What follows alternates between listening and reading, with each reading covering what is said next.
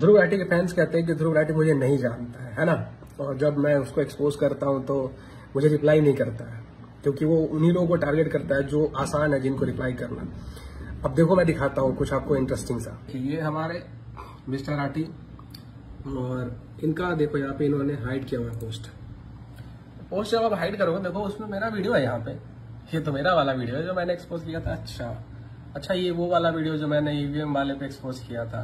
Dictator वाले video पे। वाह भाई, वाह वाह वाह वाह।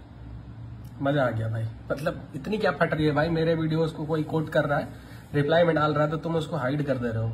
वाह, और ये बात करते हैं कि फ्री स्पीच नहीं है डिक्टेटरशिप है देश में। वाह वाह वाह। देखो ये दूसरा वाला वीडियो जो इसने ट्वीट किया था डिक्टेटर वाला, डरा हुआ डिक्टेटर अब देखो, यहाँ पे है, इसने हाइड किया हुआ है।